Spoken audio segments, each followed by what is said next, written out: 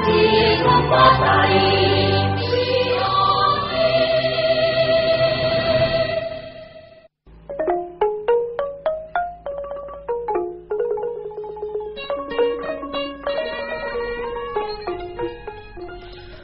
ំរាបសួរលោកអ្នកនាងដែលកំពុងស្ដាប់ព័ត៌មានរបស់ VD ជាទីមិត្តរីមេតិការព័ត៌មានសម្រាប់ថ្ងៃប្រហ័សទី14ខែកញ្ញាឆ្នាំ2017នេះរួមមាន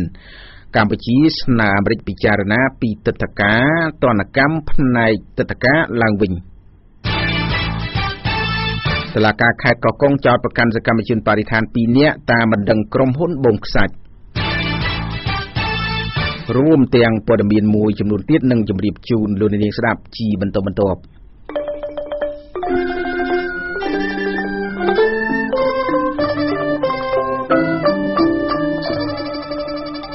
បលំដាប់តទៅនេះខ្ញុំបានញឹមសខនសូមជូនព័ត៌មានពិស្ដាទំនាក់ទំនងកម្ពុជាអាមេរិកហាក់កាន់តែប្រឆាដោយថ្មីថ្មីនេះរដ្ឋាភិបាលកម្ពុជាបានទទួលរងទណ្ឌកម្មផ្នែកទឹកតការពីប្រទេសមហាអំណាចមួយនេះ។ក៏ប៉ុន្តែរដ្ឋាភិបាលកម្ពុជា តាមរយៈក្រសួងការបរទេសបានស្នើឲ្យប្រទេសមហាអំណាចមនុស្សពិចារណាដកទណ្ឌកម្មផ្នែកទឹកតការឡើងវិញលោកពេជ្រចម្រុងរាយការណ៍បន្ថែម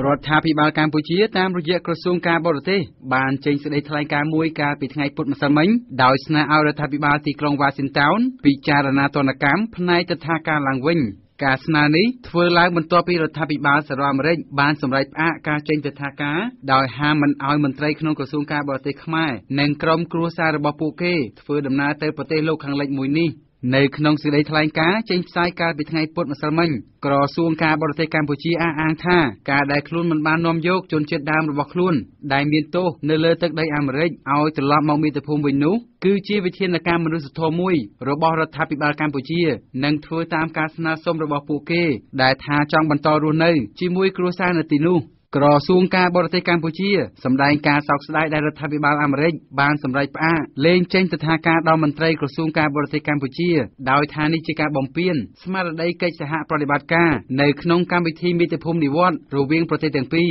ទណ្ឌកម្មផ្នែកទិដ្ឋាការនេះហាក់ធ្វើឡើងចំពេលរដ្ឋាភិបាលកម្ពុជា បានចោទសហរដ្ឋអាមេរិកថាបានជួយគ្រប់គ្រងគណៈបកប្រឆាំងដើម្បីផ្ដួលរលំរដ្ឋាភិបាល ហើយដែលករណីនេះត្រូវបានឯកអគ្គរដ្ឋទូតអាមេរិកប្រចាំនៅកម្ពុជាលោក William Hyde បានចេញសេចក្តីថ្លែងការណ៍ច្រានចោលការចាប់ប្រកាន់ដោយថាធ្វើឡើងដោយគ្មានមូលដ្ឋាន និងប្រឆាចពីការពិតទាំងស្រុង ទូតអាមេរិកប្រចាំកម្ពុជាអះអាងថាចាប់ពីថ្ងៃទី13ខែកញ្ញាស្ថានទូតនេះនឹងលែងចេញទិដ្ឋាការប្រភេទ B1 ប្រភេទ B2 និងប្រភេទ B1/B2 ដល់មន្ត្រីក្នុងក្រសួងការបរទេសកម្ពុជា ដែលមានឋានៈចាប់ពីថ្នាក់អគ្គនាយកដ្ឋានរហូតដល់ថ្នាក់ដឹកនាំកំពូលរួមទាំងសមាជិកក្នុងក្រុមគ្រួសាររបស់ពួកគេ ការផ្អាកចេញទិដ្ឋាការនេះទូតអាមេរិកលើកហេតុផលថាមានប្រទេសមួយចំនួនបានបដិសេធមិនទទួលយកឬប្រើប្រាស់ហេតុផលដែលមិនសមស្របដើម្បីពន្យាពេលទទួលយកពលរដ្ឋនៃប្រទេសរបស់ពួកគេទៅវិញអ្នកនាំពាក្យគណៈបកប្រជាជនលោកសុកអេសានសម្ដែងការខកចិត្តដែលរដ្ឋាភិបាលសហរដ្ឋអាមេរិក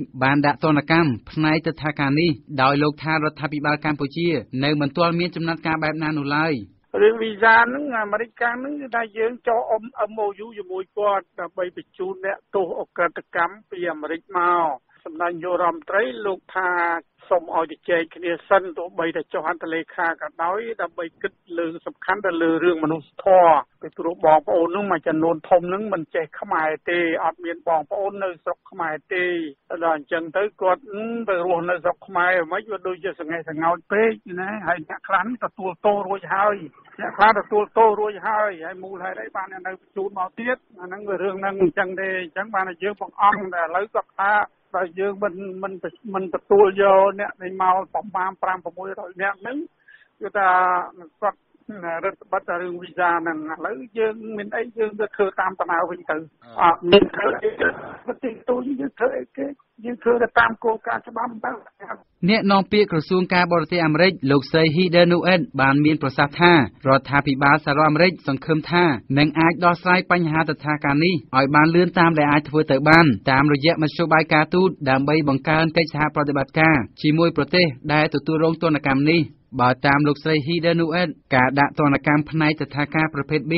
ដែលមានលក្ខណៈជាអចិន្ត្រៃយ៍នេះគឺសំដៅលើមន្ត្រីក្នុងក្រសួងការបរទេសកម្ពុជា ដែលធ្វើដំណើរទៅសហរដ្ឋអាមេរិកជាលក្ខណៈជំនួញ ឬដំណើរកម្សាន្ត លោកស្រីមានប្រសាសន៍ថាខ្ញុំចង់ឲ្យយើងទាំងអស់គ្នាយល់រឿងនេះឲ្យបានត្រឹមត្រូវជាការពិតជាបញ្ហារសើបដូច្នេះខ្ញុំសូមអានវាចេញពីសៀវភៅតែម្ដង កម្ពុជាថាទូតអាមេរិកប្រចាំកម្ពុជានឹងផ្អាកលែងចេញទិដ្ឋាការប្រភេទ B ដែលជាប្រភេទទិដ្ឋាការអចិន្ត្រៃយ៍សម្រាប់អ្នកធ្វើដំណើរដើម្បីធ្វើពាណិជ្ជកម្មនិងការកំសាន្តបុគ្គលិកក្នុងក្រសួងការបរទេសកម្ពុជាពីថ្នាក់អគ្គនាយកនិងថ្នាក់លើរួមទាំងក្រុមគ្រួសាររបស់ពួកគេ អ្នកទាំងនេះហើយដែលប៉ះពាល់នៅប្រទេសកម្ពុជា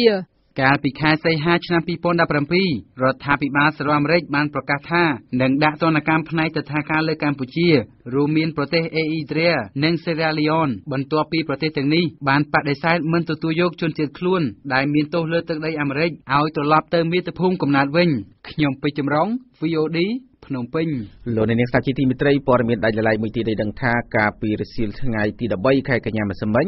តុលាការខេត្តកោះកុងបានសម្រេចចោទប្រកាន់និងឃុំខ្លួនសកម្មជនបរិស្ថានមេដាធម្មជាតិ2នាក់បន្ទាប់ពីពួកគេរងបណ្ដឹងថាបានចូលទៅថតរូបនៅកន្លែងឯកជនរបស់ក្រុមហ៊ុនលោកអុកញ៉ាលីយ៉ុងផាត់សង្គមស៊ីវិលចាត់ទុកសកម្មភាពចាប់ខ្លួននេះថាបានគំរាមកំហែងនិងរំលោភសិទ្ធិមនុស្ស លោកហ៊ុនសេរីវត្តរាយការណ៍បន្ថែមសាលាដំបងខេត្តកោះកុងសម្រេចចោទប្រកាន់និងបញ្ជូនខ្លួនសកម្មជនបរិស្ថានអង្គការមេដាធម្មជាតិចំនួន2នាក់ ទៅពន្ធនាគារដើម្បីរងចាំបន្តនីតិវិធីដែលប្តឹងដោយក្រុមហ៊ុនបូមខ្សាច់មួយកាលពីថ្ងៃទី13កញ្ញាសមាជិកខេត្តកោះកុងបានឃាត់ខ្លួនសកម្មជនមេដាធម្មជាតិ2នាក់ឈ្មោះដឹមគុនឌីនិងឈ្មោះហ៊ុនវណ្ណៈតបតាមបណ្ដឹងរបស់ក្រុមហ៊ុនបូមខ្សាច់មួយដែលគេថាជារបស់អុកញ៉ាលីជុងផាត់ក្នុងតំបន់សេដ្ឋកិច្ចពិសេសខេត្តកោះកុងហើយដែលបានចោទពួកគេថាបានចូលទៅថតសកម្មភាពនានាគ្មានការអនុញ្ញាត អ្នកនាំពាក្យសាលាដំបងខេត្តកោះកុងលោកអ៊ុនសុវណ្ណធានីប្រាប់វិយាឌីថាអ្នកទាំងពីរត្រូវបានអាយកាសម្រេចចោទប្រកាន់ចំនួន2ករណីពាក់ព័ន្ធនឹងមាត្រា495ពីបទញុះញង់ឲ្យប្រព្រឹត្តបទអក្រិតជាអាតនិងមាត្រា302ដែលធ្វើឲ្យប៉ះពាល់ទៅដល់សិទ្ធិខាងរូបភាពនៃបុគ្គលនៃក្រមព្រហ្មទណ្ឌឥឡូវហ្នឹងក៏ត្រូវបានថាក្រមសិទ្ធិសម្រាប់គុំខ្លួនប្រសិនដើម្បីរក្សាទៅពុកពុកពុកមិនទៅតាមវិធីពីតាមសិទ្ធិ អ្នកសម្របសម្រួលអង្គការលីកាដូប្រចាំខេត្តកោះកុងលោកអិនកុងចិត្តយល់ថាសកម្មភាពរបស់អាជ្ញាធរនេះជាការបំបាក់ស្មារតីទៅដល់អ្នកដែលស្រឡាញ់បរិស្ថាននិងជាការរំលោភទៅដល់សិទ្ធិមនុស្សយើងឃើញថាការដែល ចាប់ពួកគាត់យកទៅឲ្យសមត្ថកិច្ចចាត់ការឬទៅតុលាការវាជាការគំរាមកំហែងមួយបំបាក់ស្មារតីពួកគាត់មិនឲ្យចូលរួមនៅក្នុងបញ្ហាសង្គមយើងឃើញថានេះជាការរំលោភសិទ្ធិមនុស្សព្រោះគាត់ទៅនឹងមិនមែនទៅប៉ុនប៉ងប្រព្រឹត្តបទល្មើសនៅកន្លែងក្រុមហ៊ុនណាគាត់គ្រាន់តែទៅដើម្បីមើលទីតាំងថាវានៅកន្លែងហ្នឹងឬក៏មានការធ្វើការដឹកជញ្ជូនការផ្ទេរខ្សាច់ដែរឬអត់អញ្ចឹងណា កាលពីខែកក្កដាឆ្នាំ2016ក្នុងទិវាមច្ឆជាតិលោកនាយករដ្ឋមន្ត្រីហ៊ុនសែនបានប្រកាសឲ្យអាជ្ញាធររដ្ឋបង្កើនកិច្ចសហការជាមួយនឹងអង្គការសង្គមស៊ីវិលប្រជាសហគមន៍និងដៃគូអភិវឌ្ឍទាំងអស់ក្នុងកិច្ចការពារធនធានធម្មជាតិកម្ពុជាប្រកបដោយប្រសិទ្ធភាពដោយឲ្យអាជ្ញាធរកែប្រែអរិយាប័ត្ររបស់ខ្លួនសូមយកឱកាសនេះអំពាវនាវឲ្យទាំងផ្នែករដ្ឋសង្គមស៊ីវិលនិងប្រជាពលរដ្ឋក៏ដូចជាដៃគូអភិវឌ្ឍចូលរួមនៅក្នុងការ ធ្វើការអភិរក្សធនធានធម្មជាតិរបស់មុននេះវាហាក់ដូចជានៅមួយខាងម្នាក់រវាងសង្គមស៊ីវិលឬក៏សកម្មជនដែលការពារប្រៃឈើជាមួយនឹងម្ខាងទៀតខាងផ្នែករដ្ឋដែលមើលមុខគ្នាមិនស្របទៅវិញគោលដៅដូចគ្នាក៏ប៉ុន្តែបែរជានៅម្ខាងនេះនេះជាកំហុសមួយដែលយើងត្រូវកែប្រែអរិយាប័ត្រហើយអ្នកដែលត្រូវកែប្រែអរិយាប័ត្រ គឺផ្ដើមចេញពីខាងផ្នែករាជរដ្ឋាភិបាលនឹងតែម្ដងសមាជិកនៃអង្គការមេដាធម្មជាតិកញ្ញាលឹមកំសួរសោកស្ដាយចំពោះចំណាត់ការរបស់អាជ្ញាធរខេត្តនេះដោយថាចំណាត់ការរបស់អាជ្ញាធរប្រព្រឹត្តខុសទៅនឹងសម្ដីរបស់ខ្លួនអនុសាសន៍របស់ក្រមត្រីយុទ្ធសម្រាប់ខាងបុគ្គលគុំបឋានដែលគាត់តែងតែលើកហើយលើកទៀតគាត់តែងតែនិយាយថាឆ្លាសូមឲ្យប្រជាពលរដ្ឋក៏ដូចជាអង្គការសង្គមស៊ីវិលយុវជនទាំងអស់ចូលរួមការពារធនធានធម្មជាតិទាំងអស់គ្នានិងចូលរួម តាមដានខ្លួនមើលរាល់សកម្មភាពណាដែលដឹកខ្សាច់ចេញខុសច្បាប់ក៏ដូចជាការប្រព្រឹត្តបទល្មើសព្រៃឈើបាត់ល្មើសស្អីធ្វើដល់សង្គមប៉ះពាល់ដល់ថាវិការជាចំណូលជាតិអីចឹងណាតែពេលយើងធ្វើយើងចូលរួមសហការជាមួយពួកគាត់ពួកគាត់បែរជាចាប់ខ្លួនយើងហើយចាប់ប្រកាន់ពួកយើងផ្សេងផ្សេងពីបទផ្សេងផ្សេងដូចជាការចូលទៅក្នុងការដ្ឋានរបស់ក្រុមហ៊ុនដូចជាការថតដោយមិនមានការអនុញ្ញាតទោះបីជាយើងទៅថតនៅកណ្ដាលសមុទ្រចោះនេះពួ កគាត់ថាកន្លែងនេះជារបស់ឯកជនដែរ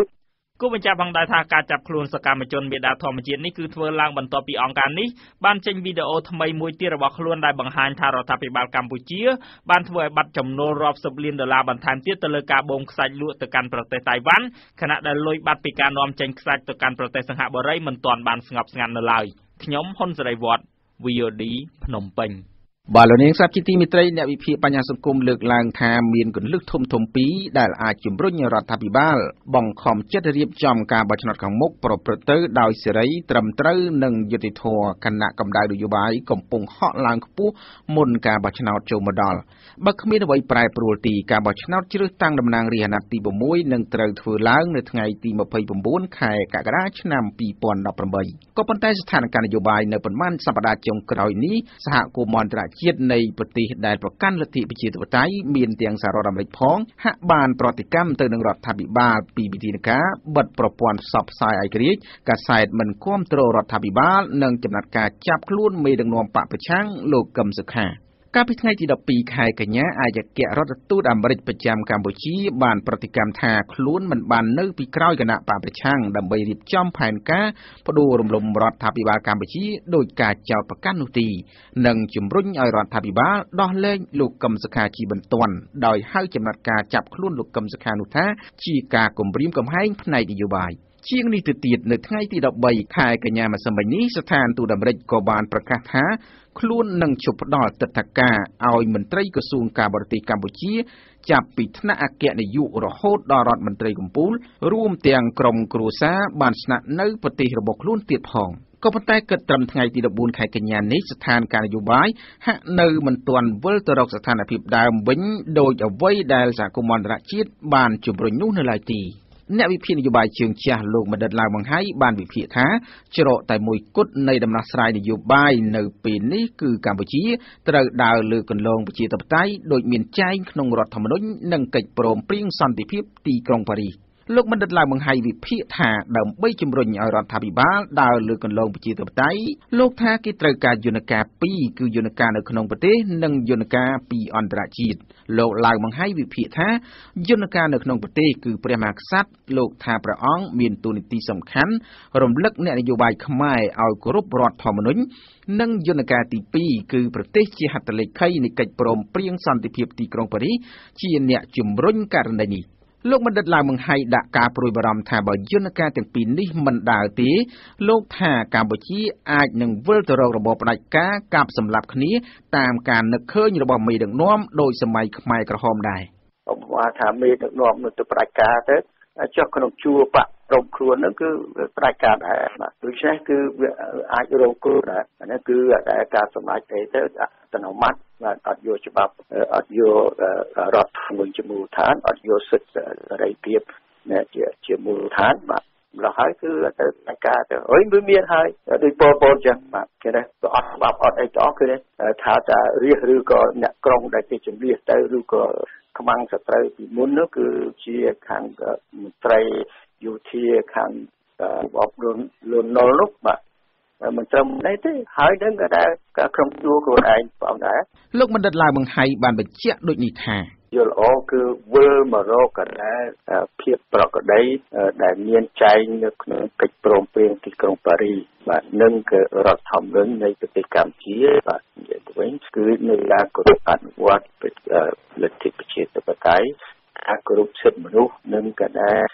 ការអនុវត្តបាទគ្រប់អនុវត្តនៅនីតិរដ្ឋបាទអ្នកវិភាគនយោបាយមួយរូបទៀតគឺលោកអែមសវណ្ណរាបានវិភាគថាកម្ដៅនយោបាយនៅពេលនេះហាក់ពិបាកនឹងនិយាយថាច្រកចេញតាមផ្លូវណាមួយពិតប្រាកដនៅពេលដែលរដ្ឋាភិបាលកម្ពុជាព្យាយាមពន្យល់ថាការចាប់ខ្លួនលោកកឹមសុខា និងចំណាត់ការមួយចំនួនទៀតជាវិធានការច្បាប់ខណៈដែលសហគមន៍អន្តរជាតិគ្មានជំនឿលើប្រព័ន្ធច្បាប់នៅកម្ពុជានោះ ក៏ប៉ុន្តែអ្នកវិភាគរូបនោះថាស្ថានភាពនយោបាយនៅកម្ពុជានៅពេលនេះមានតែសហគមន៍អន្តរជាតិទីទើបអាចជំរុញឲ្យរដ្ឋាភិបាលងាកទៅបើកលំហប្រជាធិបតេយ្យឡើងវិញបានភាគីរដ្ឋាភិបាលកម្ពុជានិងសហគមន៍អន្តរជាតិនឹងអង្គុយតុជាមួយគ្នាចរចាគ្នាជជែកគ្នាអ្វីដែលយល់មិនដូចគ្នាអញ្ចឹងមធ្យោបាយតែមួយគឺតាមការចរចាហ្នឹងគឺវាប្រសើរជាងអ្វីទាំងអស់ហើយបើសិនបើគ្រាន់តែសម្ដែងមតិឬក៏ប្រតិកម្មចុះប្រតិកម្មឡើងវាអត់មានអីចេញរួចទេច្រកនយោបាយកម្ពុជានៅតែតានតឹងហើយអ្វីដែលអូសបន្លាយពេលវេលាកាន់តែយូររឿងរ៉ាវកាន់តែកើតឡើងកាន់តែច្រើនកម្ពុជាជាអ្នកខាត់បងមិនមែនសហគមន៍អន្តរជាតិទេបាទអ្នកនយោបាយជើងចាំរូបទៀតគឺលោកលឺឡៃស្រេង បានលើកឡើងថាសម្ពាធពីអន្តរជាតិពិតជាកន្លឹះមួយជំរុញយន្តការប្រជាធិបតេយ្យនៅកម្ពុជាក៏ប៉ុន្តែលោកថាអ្វីដែលសំខាន់ជាងនេះគឺអ្នកនយោបាយខ្មែរត្រូវពង្រឹងផ្ទៃក្នុងជាតិឆ្ពោះទៅកាន់ការបោះឆ្នោតឆ្នាំ2018ដោយតម្កល់ប្រយោជន៍ជាតិជាធំធေါ်ក្តៅសងៃហ្នឹងអានេះអ្នកត្រូវគេជីជាប់អត់សុបាយចិត្តអាអ្នកជីជាប់គេក៏មិនទៅសុបាយចិត្តប្រហែលខ្លួនឯងដែរដូច្នេះទាំងអស់គ្នាទៅឲ្យទាំងអស់គ្នាសុបាយចិត្តទាំងអស់គ្នាទៅដាច់ខាតខ្មែរត្រូវតែនិយាយគ្នាបើអត់និយាយគ្នាទេខ្មែរជឿខ្លួនទាំងអស់គ្នាអានេះគេធ្វើបាបនោះជឿខ្លួនឯងប៉ុន្តែអ្នកធ្វើបាបគេជឿខ្លួននោះទេអាហ្នឹងខ្ញុំប្រាប់ខ្ញុំថាជាមនុស្សទេ សរុបជារួមអ្នកវិភាគថាដើម្បីឲ្យការបោះឆ្នោតឆ្នាំ2018ប្រព្រឹត្តទៅដោយសេរីត្រឹមត្រូវនិងយុត្តិធម៌នោះលុះណាតែមានការជំរុញពីសហគមន៍អន្តរជាតិជាពិសេសប្រទេសដែលប្រកាន់លទ្ធិប្រជាធិបតេយ្យការជំរុញពីក្នុងប្រទេសតាមរយៈតួអង្គព្រះមហាក្សត្រនិងម្ចាស់ឆ្នោតផងដែរ លោកអ្នកអាចផ្ដល់ព័ត៌មានមកកាន់ VOD តាមទូរស័ព្ទលេខ092 92 19 02និង060 50 50និង50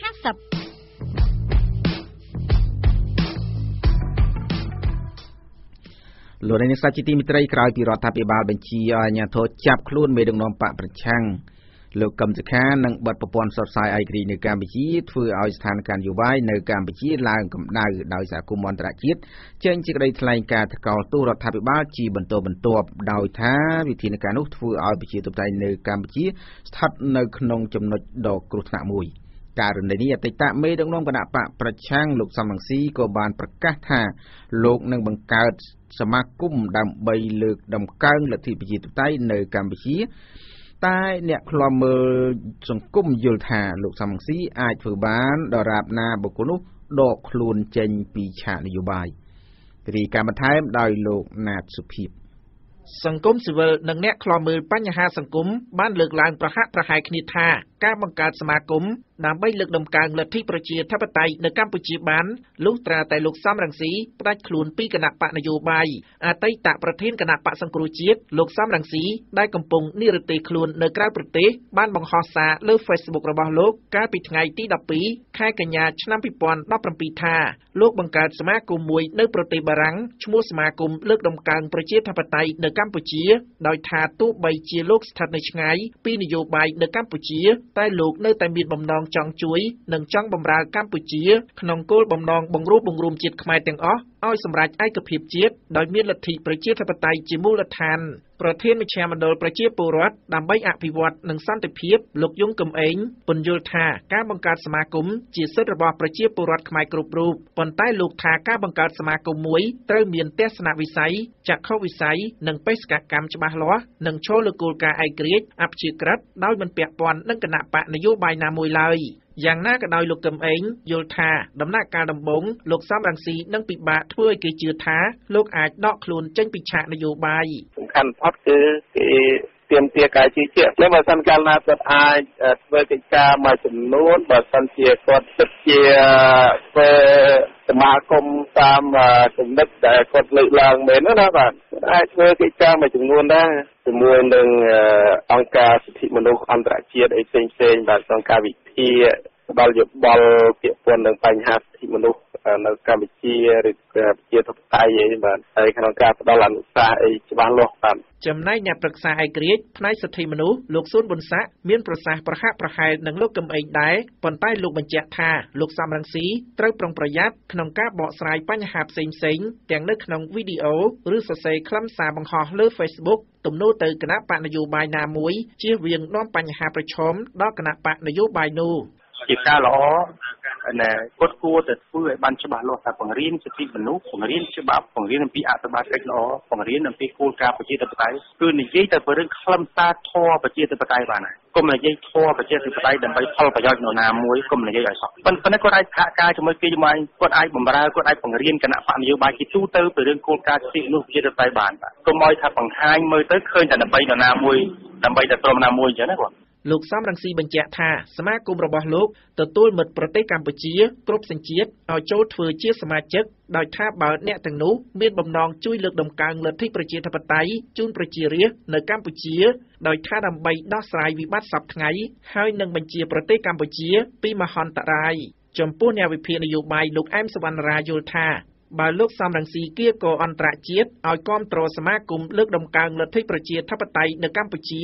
លោកថានេះអាចជួយជំរុញឲ្យលទ្ធិប្រជាធិបតេយ្យនៅកម្ពុជាមានការរីកចម្រើនប៉ុន្តែលោកដាក់ការព្រួយបារម្ភថាបើលោកសំរងស៊ីប្រើសមាគមនោះមិនចំគោលដៅដោយពាក់ព័ន្ធគណៈបកសង្គ្រោះជាតិលោកថាអាចធ្វើឲ្យអ្នកនយោបាយខ្លះយកលេសរំលែកគណៈបកនោះ ការបើកសមាគមប្រជាធិបតេយ្យនេះនឹងគៀងគោធនធានថវិការបស់ពលរដ្ឋខ្មែរដែលរស់នៅក្រៅស្រុកដើម្បីជួយជំរុញលទ្ធិប្រជាធិបតេយ្យនៅកម្ពុជាអញ្ចឹងខ្ញុំគិតថានឹងមានសមាគមប្រជាធិបតេយ្យនៅបណ្ដាប្រទេសផ្សេងទៀតដូចជាអាមេរិកអូស្ត្រាលីញូហ្សេឡង់នេះនឹងកើតមានឡើងទៀត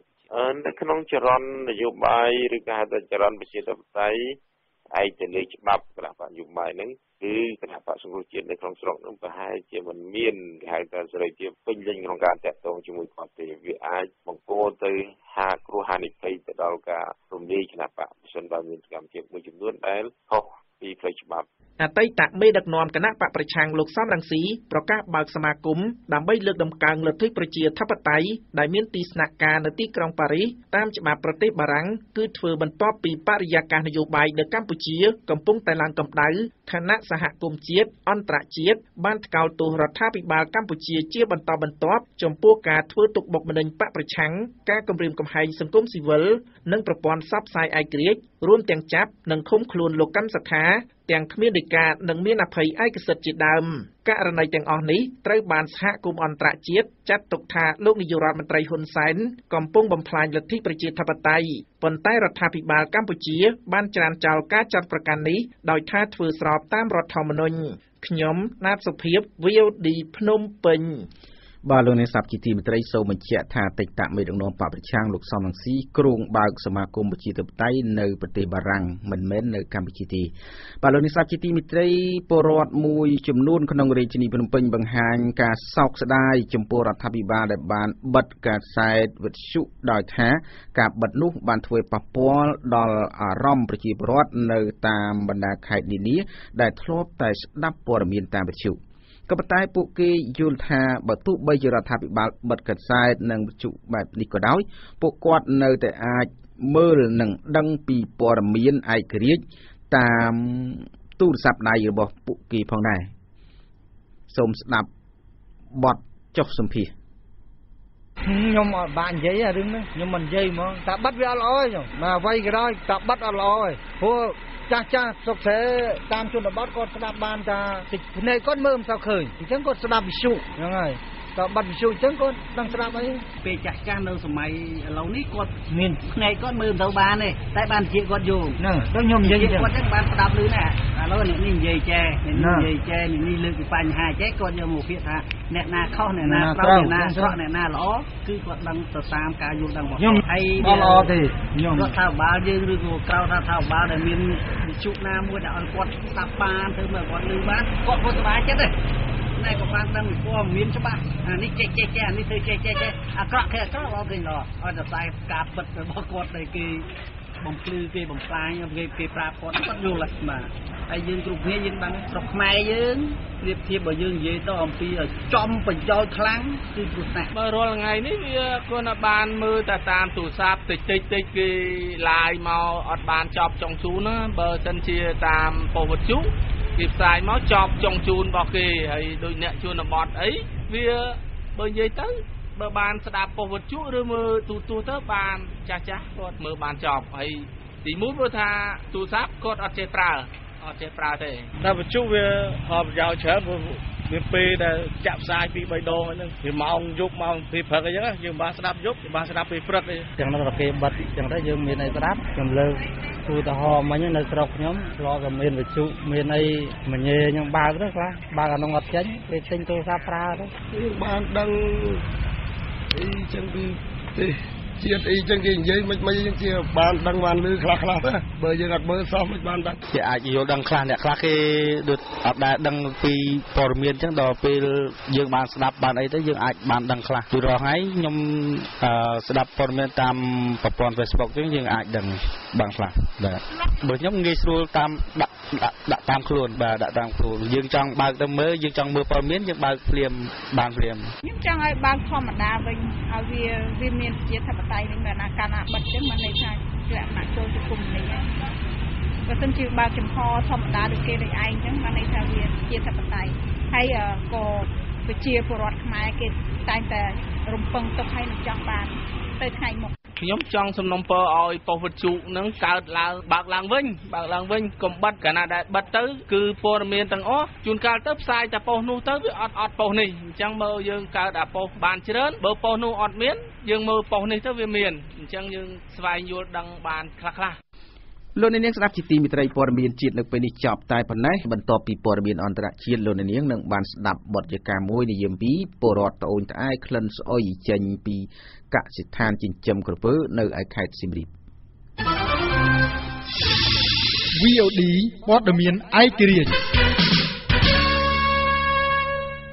បើព័ត៌មានអន្តរជាតិនៅពេលនេះជម្រាបជូនដោយលោកពៅមេតា សម្រាប់ព្រឹត្តិការណ៍ព័ត៌មានអន្តរជាតិនៅពេលល្ងាចនេះចាប់ផ្ដើមចេញពីអាមេរិកឈប់លក់បច្ចេកវិទ្យាទៅឲ្យក្រុមហ៊ុនរបស់ចិន ដោយហេតុផលសន្តិសុខជាតិរដ្ឋការរបស់លោក Donald Trump បានរារាំងក្រុមហ៊ុននានារបស់អាមេរិកឲ្យបញ្ឈប់ការលក់បច្ចេកវិទ្យាទៅឲ្យក្រុមហ៊ុនរបស់ចិន ដោយបញ្ជាក់ហេតុផលថាពាក់ព័ន្ធជាមួយបញ្ហាសន្តិសុខជាតិចាប់តាំងពីខែវិច្ឆិកាឆ្នាំមុនមកក្រុមហ៊ុនបច្ចេកវិទ្យារបស់ចិនឈ្មោះ Canyon Bridge Capital Partner បានស្វែងរកការទិញក៏ដូចជាការសហការជាមួយក្រុមហ៊ុនរបស់សហរដ្ឋអាមេរិកឈ្មោះ Lattice Semiconductor នៅក្នុងតម្លៃទឹកប្រាក់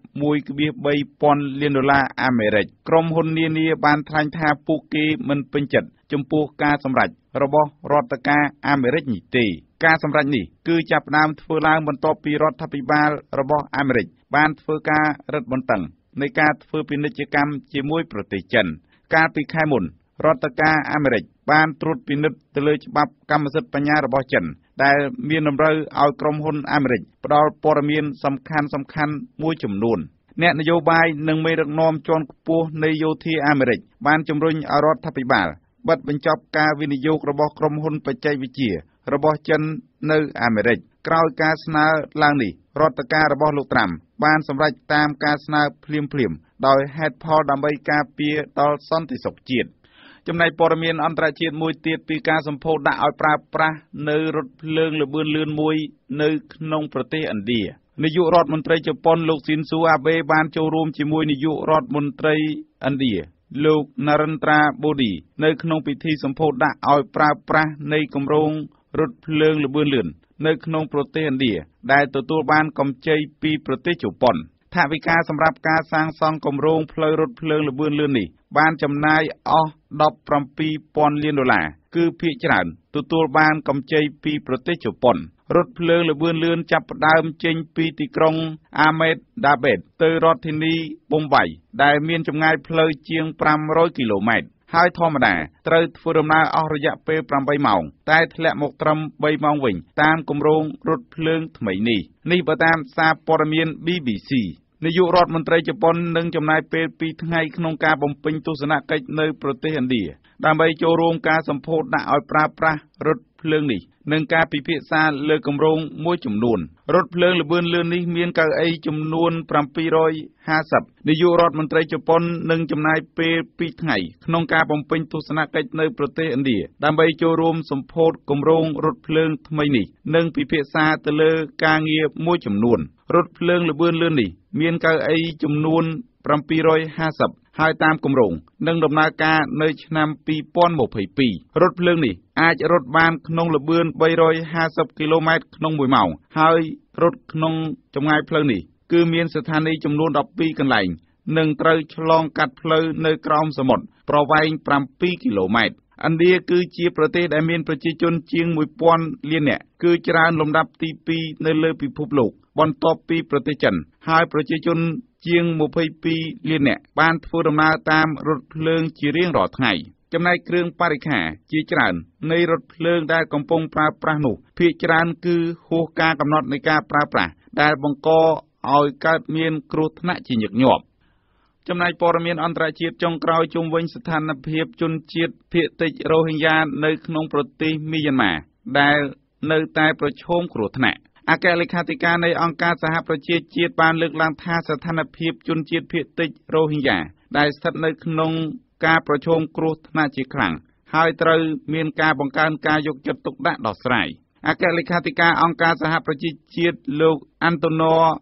Guterres បានថ្លែងថា ការវាយប្រហារដោយក្រុមយោធា ទៅលើជនជាតិភាគតិចរ៉ូហិញ៉ាជាច្រើនកន្លែងនោះ គឺជាការមិនអាចទទួលយកបាននោះទេទោះយ៉ាងណា ខាងក្រមយោធារបស់មីយ៉ាន់ម៉ាបានថ្លែងថាពួកគេវាយប្រហារទៅលើក្រុមបះបោរតែប៉ុណ្ណោះគឺមិនបានវាយប្រហារទៅលើជនស៊ីវិលនោះទេអង្គការសហប្រជាជាតិផ្នែកសិទ្ធិជនភៀសខ្លួនបានថ្លែងថាជំនួយសម្រាប់ជនភៀសខ្លួនជនជាតិរ៉ូហិញ៉ាដែលរត់ចេញពីប្រទេសទៅកាន់ប្រទេសបង់ក្លាដេសនោះគឺមិនគ្រប់គ្រាន់នោះទេ អគ្គលេខាធិការអង្គការសហប្រជាជាតិលោក Guterres បានអំពាវនាវដល់សហគមន៍អន្តរជាតិឲ្យផ្ដល់ជំនួយគ្រប់បែបយ៉ាង តាមការដែលអាចធ្វើទៅបាន ផ្នែកមនុស្សធម៌ដើម្បីដោះស្រាយបញ្ហាដែលកំពុងរងគ្រោះថ្នាក់ជាខ្លាំងលោកបន្តថាចំនួនជនជាតិភាគតិចរ៉ូហិញ៉ាដែលគេចចេញពីប្រទេសមីយ៉ាន់ម៉ាទៅបង់ក្លាដេសកាលពីសប្តាហ៍មុន មានចំនួន125,000នាក់ ប៉ុន្តែរហូតដល់ដើមសប្តាហ៍នេះ គឺកើនឡើងដល់380,000នាក់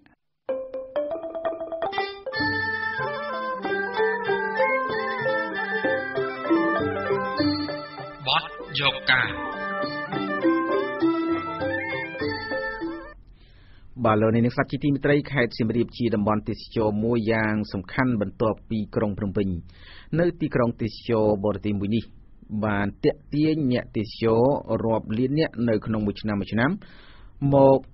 ស្នាក់នៅនឹងទេសនាប្រាសាទបុរាណខ្មែរក៏ប៉ុន្តែនៅក្បែរទីបុរាណបែរជាមានកណ្ដែងចិញ្ចឹមក្រពើនៅកណ្ដាលក្រុងទៅវិញ ដែលបណ្ដាលឲ្យជះក្លិនស្អុយ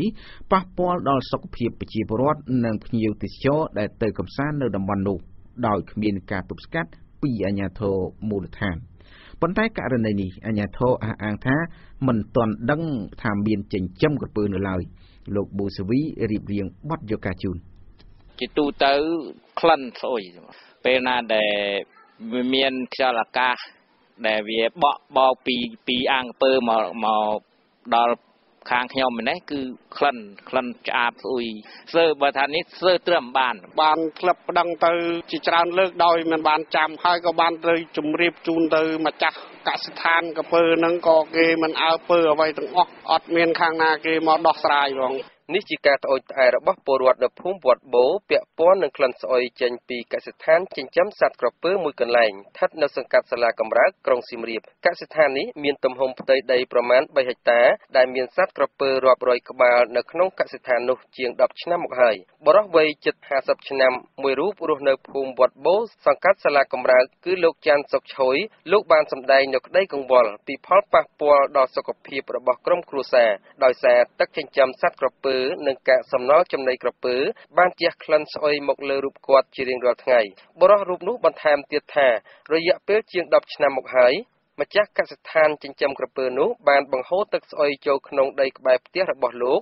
ដោយពុំមានការយល់ព្រមពីម្ចាស់ផ្ទះនោះទេមិនតែប៉ុណ្ណោះលោកថាទឹកស្អុយក្នុងអាងក្រពើនោះបានបង្ហូរចេញមកផ្លូវសាធារណៈផងដែរដូចជាមានការបង្ហូរទឹកចូលមកក្នុងដីភូមិខ្ញុំបាទផ្ទាល់ ហើយខ្ញុំបានថតជាវីដេអូឃ្លីបយ៉ាងខ្លីមួយ ដាក់ចូលទៅក្នុងនឹងដូចជាសុខភាពយើងរស់នៅស្អុយក្លិនមកវាអាចធ្វើឲ្យប៉ះពាល់សុខភាព កូនក្មេងអីហើយទី2គាត់បានយកលបងខ្ញុំបាទនឹងធ្វើជាអាងកពើ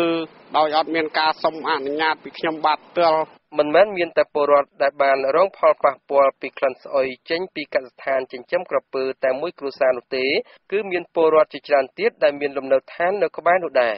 កំពុងអង្គុយនៅគេឋានមួយក្បែរកសិដ្ឋានចិញ្ចឹមសត្វក្រពើនោះគឺអ្នកស្រីឡាំលីហៀងអ្នកស្រីខកចិត្តចំពោះការចិញ្ចឹមក្រពើកណ្ដាលទីក្រុងទេសចរនោះដោយអ្នកស្រីថាកាកសំណល់ពីចំណីសត្វក្រពើមិនត្រឹមតែបានជះក្លិនស្អុយមកលើអ្នកភូមិប៉ុណ្ណោះទេថែមទាំងប៉ះពាល់ដល់ភ្ញៀវទេសចរដែលស្នាក់នៅសន្តាគារផ្ទះសំណាក់ប៊ូទិកនៅក្បែរនោះផងដែរនិយាយបណ្ដើរយកដៃខ្ទប់ច្រមុះបណ្ដើរអ្នកស្រីឡាំលីហៀងបានបន្តទៀតថា ជារៀងរាល់ថ្ងៃម្ចាស់កសិដ្ឋាននោះបានដឹកចំណីក្រពើរាប់តោនឲ្យក្រពើស៊ីដែលបន្សល់នៅកាកសំណល់ស្អុយរលួយស្អុយកំរួងស្អុយអីសោះមកហ្នឹងចង់ដឹងសាកមើលម្ចាស់គាត់មាននៅនឹងណា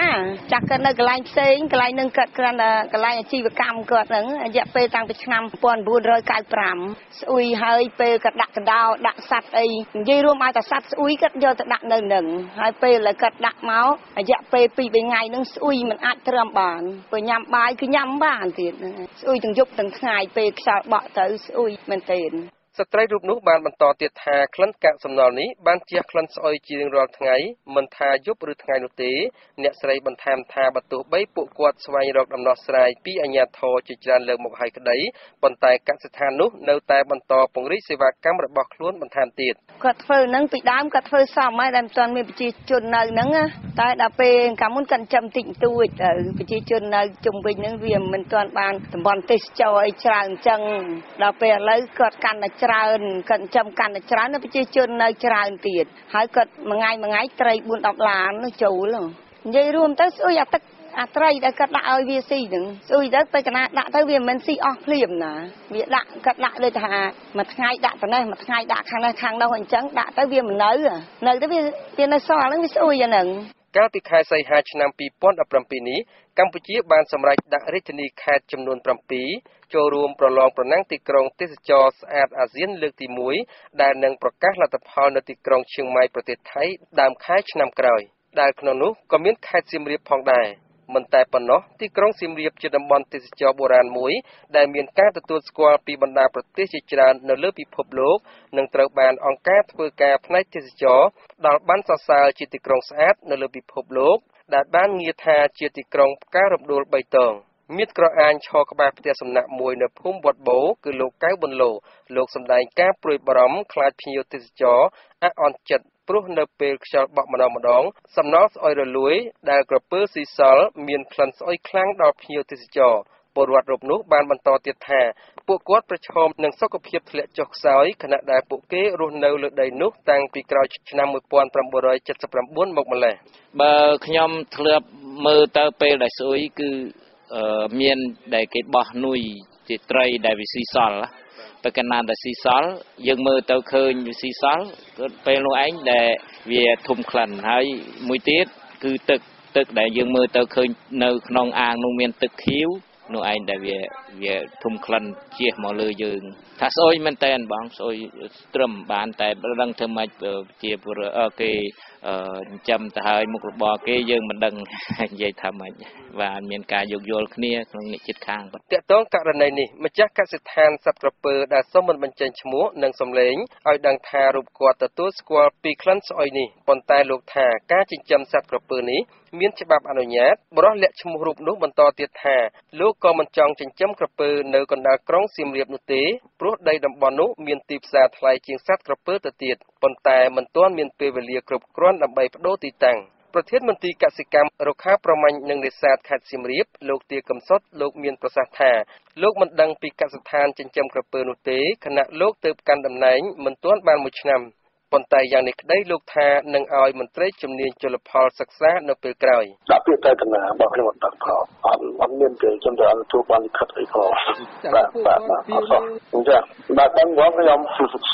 ជាមួយខ្ញុំឲ្យខាងជលផលគេចុះទៅមកពិនិត្យមើលប៉ុន្តែចៅសង្កាត់សាលាកំរើកក្រុងសៀមរាបលោកចិនសុកងេងដែលទើបកាន់តំណែងថ្មីមានប្រសាសន៍ថាលោកបានអញ្ជើញម្ចាស់កសិដ្ឋានចិញ្ចឹមក្រពើនិងពលរដ្ឋដោះស្រាយមួយដំណាក់កាលមកហើយដោយលោកថាអាញាធរឲ្យម្ចាស់នោះ រៀបចំសម្អាតកសិដ្ឋានឲ្យបានល្អជាប្រចាំលោកបានបន្តថាពលរដ្ឋនៅក្បែរនោះមានច្រើនគ្រួសារប៉ុន្តែពលរដ្ឋដែលរងផលប៉ះពាល់ខ្លាំងមានចំនួន4គ្រួសារប៉ុណ្ណោះដំណោះស្រាយគឺយកឲ្យដំណោះស្រាយគឺឲ្យម្ចាស់ដែលចិញ្ចឹមកពើហ្នឹងគឺធ្វើការសម្រាប់ទឹកនិងជីវកម្មរបស់ដែលធ្វើឲ្យស្អុយទៅរៀបចំឲ្យមានអនាម័យអញ្ចឹងណាបងហើយដូចអ្វីដែលកំណត់ហេតុ4 5ចំណុចដែលធ្វើកិច្ចសន្យាមួយពួកគាត់ ទោះជាយ៉ាងណាក្រុមអ្នកភូមិបានអំពាវនាវឲ្យអាជ្ញាធរនិងមន្ត្រីជំនាញរៀបចំអាងចិញ្ចឹមក្រពើឲ្យបានស្អាត និងបដូរទីតាំងថ្មីចេញពីតំបន់នោះ ដើម្បីឲ្យស្របតាមពាក្យស្លោកថាភូមិស្អាតស្រែល្អ ទីក្រុងស្អាតប រិស្ថានល្អអាចថាធ្វើម៉េចឲ្យពួកខ្ញុំរស់ស្រួលបានដូចគេដូចឯងទៅកុំឲ្យវាស្អុយកុំឲ្យវាអីកដាលទីក្រុងហូបបាយហូបទឹកអីបានដូចគេដូចឯងរស់ទៅឲ្យសមរម្យទៅទៀតណាជួយសម្អាតដល់អាងទីលានកំពើនេះដើម្បីកុំឲ្យវា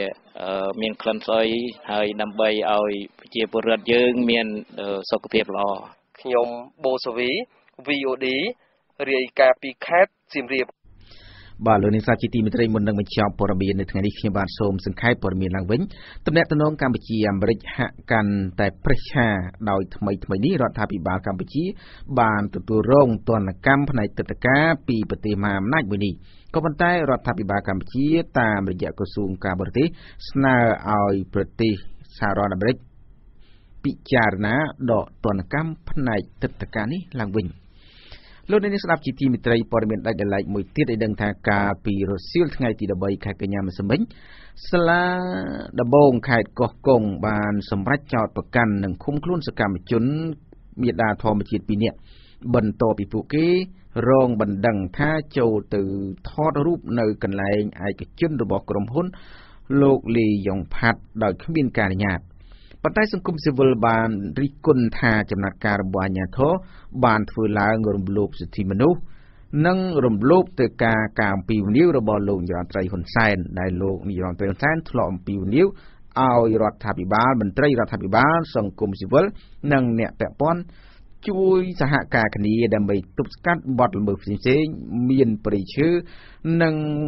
ការបំផ្លាញធម្មជាតិដូចជាបូមខ្សាច់ជាដើមផងដែរ